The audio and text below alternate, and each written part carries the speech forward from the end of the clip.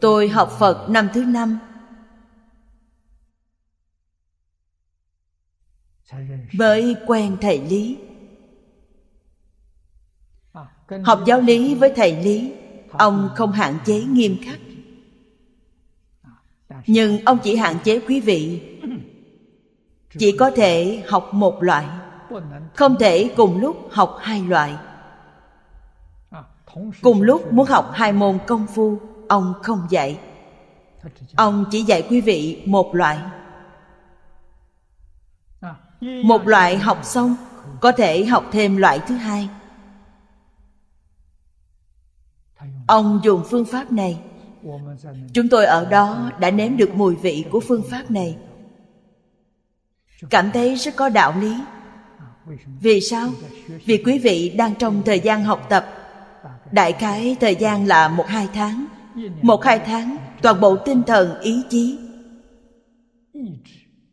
Thời gian của quý vị toàn bộ tập trung ở một điểm.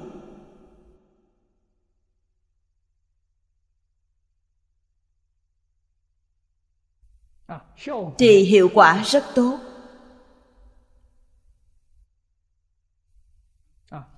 Thầy giáo dùng cách dạy học của tư thục thời xưa chúng tôi nếm được mùi vị này. Lúc nhỏ tuy từng học tư thục, nhưng ấn tượng đã không còn. Vì lúc đó tuổi còn quá nhỏ, tôi hình như là sáu bảy tuổi đi tư thục.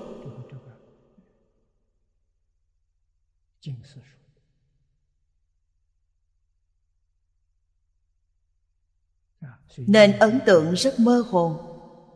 Học kinh giáo với thầy lý, ấn tượng này còn rất sâu sắc.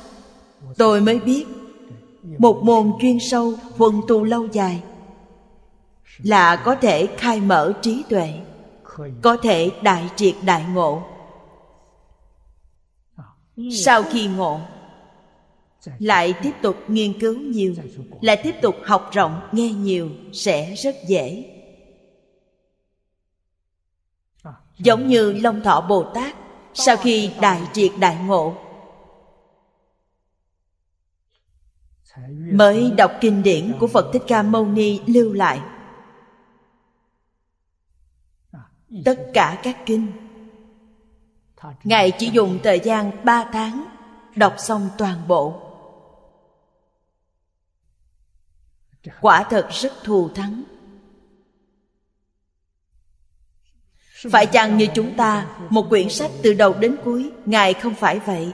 Ngài chỉ cần dở mấy trang sách này thì đã hiểu hết. Cái này thật lợi hại.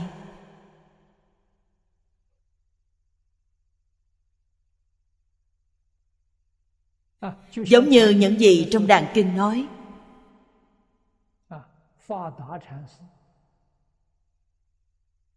Pháp đạt thiền sư đến tàu khê thịnh giáo lục tổ ngài chuyên đọc kinh pháp hoa. Thật là một môn chuyên sâu huân tu lâu dài. Ngài nói với lục tổ, ngài đọc kinh pháp hoa khoảng hơn ba ngàn lần. Kinh pháp hoa rất dài, chúng ta biết nhiều nhất một ngày đọc một biến. Hơn ba nghìn lần, phải mười năm. Mười năm công phu.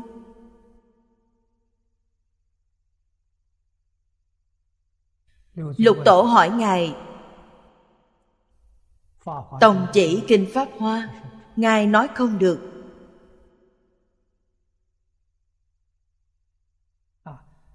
Ông thỉnh giáo lục tổ. Lục tổ nói bộ kinh này tôi chưa từng nghe qua. Ngài vốn không biết chữ đương nhiên không thể đọc sách chưa nghe qua ông đã đọc thuộc như vậy rồi thì đọc cho ta nghe xem. Kinh pháp hoa 28 phẩm. Ông đọc đến phẩm thứ hai. Lục tổ nói, không cần đọc nữa, ta đã hiểu hết.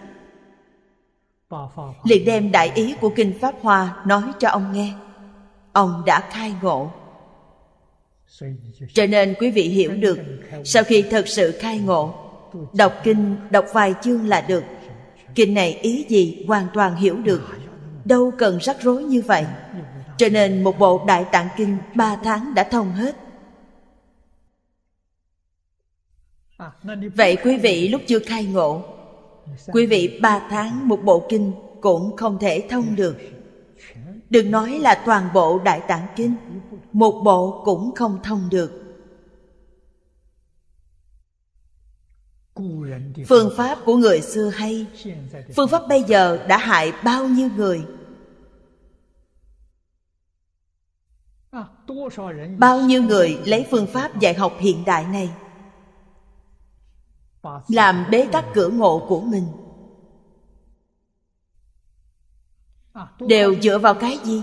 Dựa vào ghi nhớ. Nghe nhiều, nhớ nhiều. Ghi nhớ không được là hữu hạn.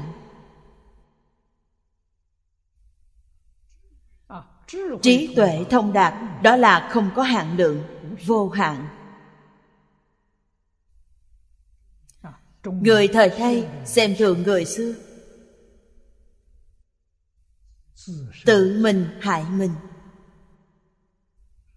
Nếu quý vị có thể tôn trọng người xưa nương vào phương pháp của người xưa để học thì thế giới ngày nay bao nhiêu thánh hiền quân tử bao nhiêu người khai ngộ người khai ngộ nhiều, thánh hiền quân tử nhiều. Thế giới này ổn định lâu dài. Người người đều hưởng phước, hạnh phúc mỹ mãn. Nhưng thế giới ngày nay, thánh hiền quân tử không còn.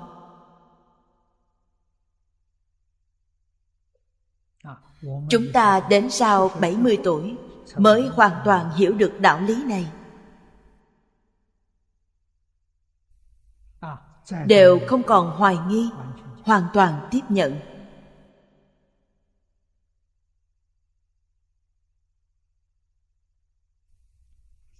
Nhưng tự mình học thì quá muộn rồi thời gian đã qua rồi. Cho nên hôm nay chúng ta một môn chuyên sâu một môn nào kinh vô lượng thọ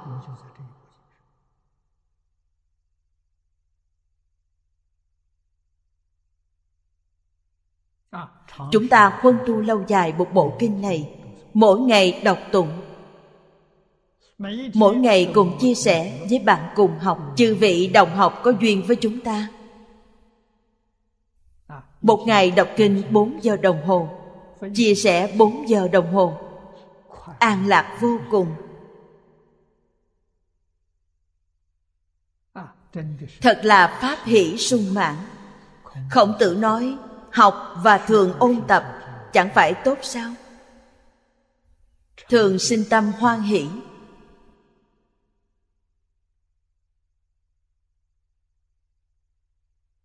Nếu như không phải thời gian huân tu dài như vậy, quý vị cái gì cũng đều không đạt được. Cái gì là quý báu, điều này mới thật là quý báu.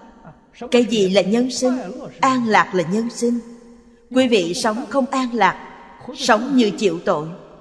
Đáng thương làm sao? Phải sống thật an lạc. Thật an lạc là cái gì? Là cùng với phật bồ tát. Ngày ngày sống cùng với phật bồ tát. Ngày ngày sống cùng với các bậc cổ thánh tiên hiền. Cuộc sống này mới thật an lạc.